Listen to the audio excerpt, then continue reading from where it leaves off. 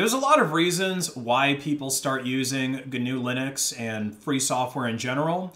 Obviously, the freedom and flexibility that is afforded to you by Libre software is a huge bonus, but I still don't think that that's the reason that most people, especially less tech savvy people who don't realize how evil proprietary software is, choose to use Libre software. Uh, but one of the bad aspects of proprietary operating systems like Windows that I think less tech savvy people can get behind hating is software bloat. Much like the American obesity rates over the past century, bloat within Windows has gotten out of control. And it was actually this software bloat that led to my first stint with using Linux many, many years ago. When I was a wee lad, around 12 years old, I received an Acer Aspire 3680 for my birthday. That bad boy came with a single core, 1.6 gigahertz processor, 512 megs of RAM, and the Windows Vista operating system pre-installed to it.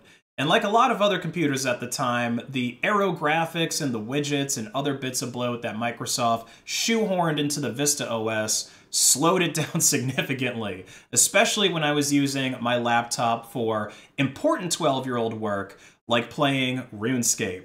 So I did what I could to improve the speed of Vista and learned a lot about the OS in the process, disabling the fancy graphics and stuff like that I didn't need. I switched to Firefox and then eventually to different RuneScape clients that, you know, ran without a browser. But my poor little Acer still couldn't keep up with some of the busier places in the RuneScape world, like the Grand Exchange, or worse yet, the Wilderness just north of Edgeville.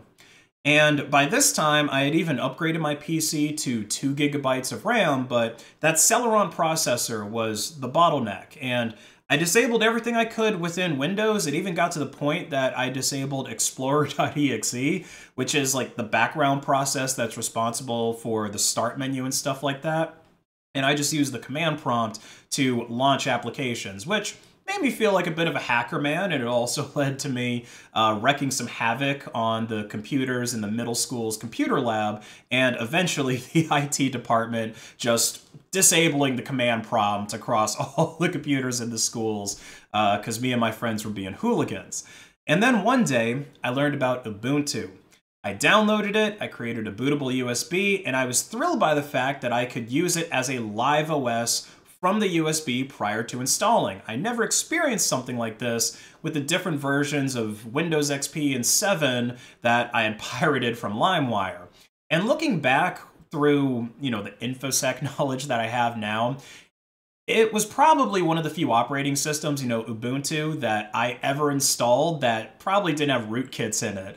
Because uh, for you younger folks who never used LimeWire, it's a lot like getting a box of assorted chocolates, except most of the chocolates are going to contain weird porn and crazy viruses that will completely wipe out your family computer.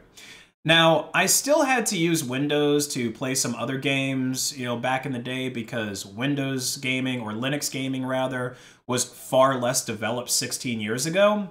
But I guess RuneScape, with it being a Java application, it really made no difference at all um, whether you played it on Linux or whether you played it on Windows. All that mattered was freeing up more of the CPU and RAM from the OS for the game, which was a lot easier to do with Ubuntu than Linux or Ubuntu than Windows because it came with a lot less bloat. And now looking back, Windows Vista and 7 weren't even that bad. They weren't that bloated compared to Windows 10 and Windows 11. I mean, don't get me wrong, they're still not as uh, good as Ubuntu, but at least Windows back then didn't install additional programs like additional bloat to your computer without your consent.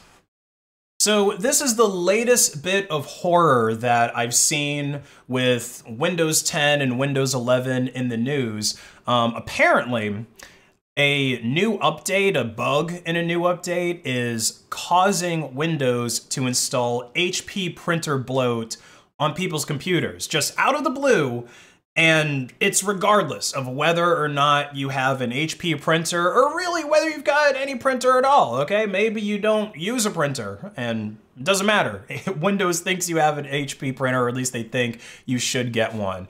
Uh, so here is the uh, situation according to windowslatest.com. So the HP Smart application is automatically just getting installed on Windows 11 and Windows 10, and it's getting installed via the Microsoft Store. Okay, and this is also including um, the latest update. I think this is the latest update uh, for Windows 11 23 H2.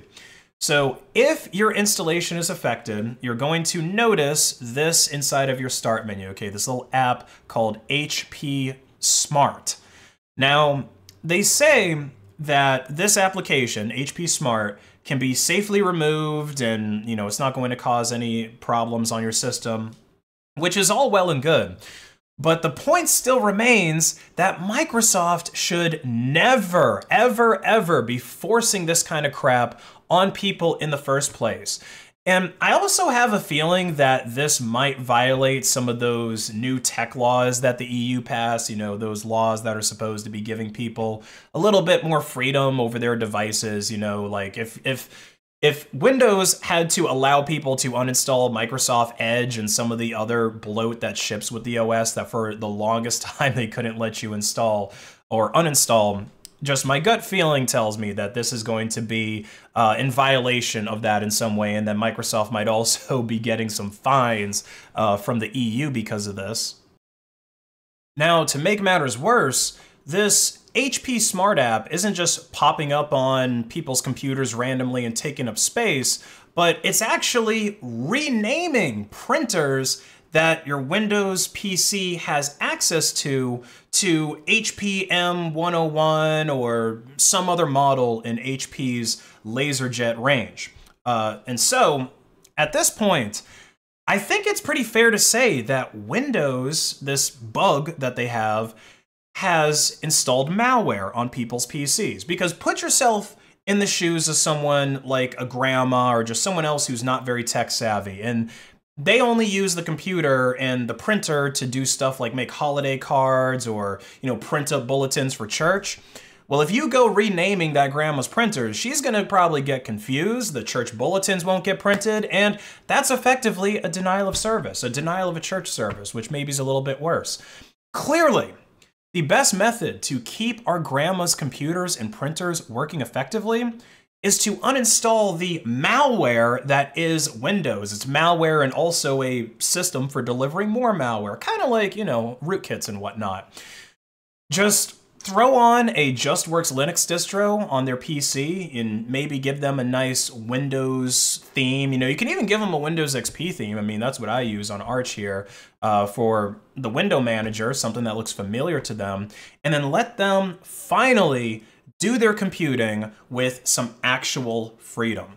If you enjoyed this video, be sure to like it and share it to hack the algorithm, and check out my merch on based.win. This open base shirt that I'm wearing is an example of one of the more popular designs, even though we didn't talk about BSD in this video, but you should still get it anyway so that you can show off your swag. And of course, you can save 10% automatically on this shirt and all other products on based.win store-wide by paying in Monero XMR at checkout. Have a great rest of your day.